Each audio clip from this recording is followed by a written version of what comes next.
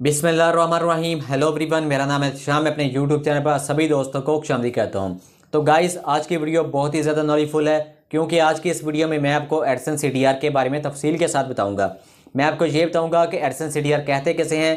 Edson सी अगर बढ़ जाए तो आपके यूट्यूब चैनल को क्या नुकसान हो सकता है, और कितने परसेंट पर अगर एडसन सी बढ़ जाए तो आपका यूट्यूब चैनल डिसेबल हो सकता है। एडसन सी बढ़ने की क्या वजूहत हैं? तो आज की इस वीडियो में इन तमाम सवाल के जवाब आपको मैं तफसील के साथ दूँगा।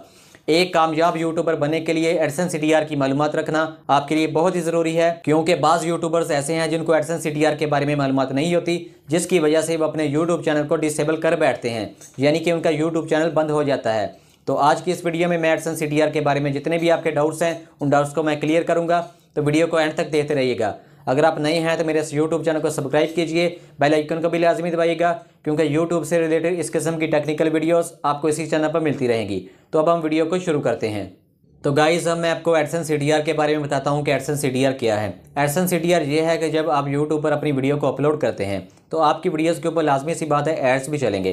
यानी कि अगर आप यूट्यूब पर अपनी वीडियो को अपलोड करते हैं तो यूट्यूब आपकी वीडियो को सौ लोगों के पास पहुँचाता है। लेकिन सौ लोगों में से अगर आठ लोगों ने आपकी वीडियो को क्लिक किया है, और आपकी वीडियो पर चलने वाले एड्स को भी क्लिक किया है तो अगर आठ लोगों ने आपकी वीडियोस के एड्स को क्लिक किया है, आपका जो एडसन सी होगा वो आठ परसेंट होगा। एडसन सी के बढ़ने की वजह से आपके चैनल को नुकसान भी हो सकता है। वो नुकसान आपको इस सूरत में हो सकता है जब आपका नया नया यूट्यूब चैनल मोनिटाइज होता है। यानी कि आपके हज़ार सब्सक्राइबर मुकम्मल होते हैं आपका जो चार हज़ार घंटा वाइट टाइम आपका मुकम्मल होता है। तो इस सूरत में जब आप यूट्यूब पर अपनी वीडियो को अपलोड करते हैं तो आपकी वीडियोस के ऊपर लाजमी सी बात है व्यूज़ बहुत ही कम आएँगे, क्योंकि आपका नया नया चैनल मोनिटाइज होता है। आपकी वीडियोस के ऊपर जो व्यूज़ आते हैं, वो वन के आ सकते हैं टू के आ सकते हैं, या सिक्स के आ सकते हैं। तो इस सूरत में आपकी वीडियोस के ऊपर जो एड्स है, वो भी बहुत ही कम चलेंगे, जिसकी वजह से आपका जो एडसन सी है, वो बहुत ज़्यादा हाई हो सकता है।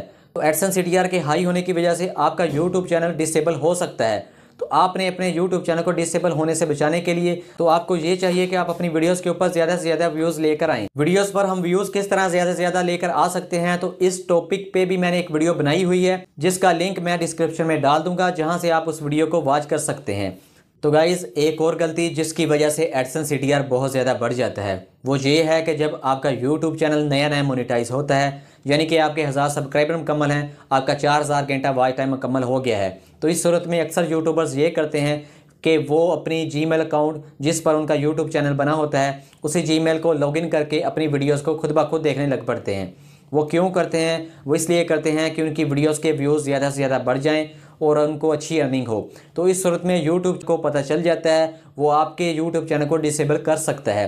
क्योंकि इस सूरत में आपका जो एडसन सिटी है, वो बहुत ही ज़्यादा बढ़ सकता है। आप कभी भी अपनी वीडियोस को खुद ब खुद नहीं देख सकते। आप उसी सूरत में अपनी वीडियोस को खुद ब खुद देख सकते हैं, जब आपका यूट्यूब चैनल मोनिटाइज नहीं हुआ होता। तो इस सूरत में तो आप अपनी वीडियोस को खुद ब खुद देख सकते हैं, लेकिन जब आपका यूट्यूब चैनल मोनिटाइज हो जाता है तो इस सूरत में आप अपनी वीडियोस को खुद ब खुद ना देखिएगा। अगर आप ये गलती करेंगे तो आपका यूट्यूब चैनल है, वो डिसेबल हो सकता है, आपका एडसना अकाउंट भी डिसेबल हो सकता है, जिसकी वजह से आपका यूट्यूब चैनल डिसेबल हो सकता है। और गाइस उम्मीद करता हूँ कि इस वीडियो के ज़रिए आपको नॉलेज मिला होगा।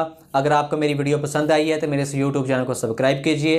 बेल आइकन का भी लाजमी दबाइएगा, क्योंकि यूट्यूब से रिलेटेड इस किस्म की टेक्निकल वीडियोस आपको इसी चैनल पर मिलती रहेंगी। फिर एक नई वीडियो के साथ हाजिर होंगे, तब तक के लिए अल्लाह हाफिज़।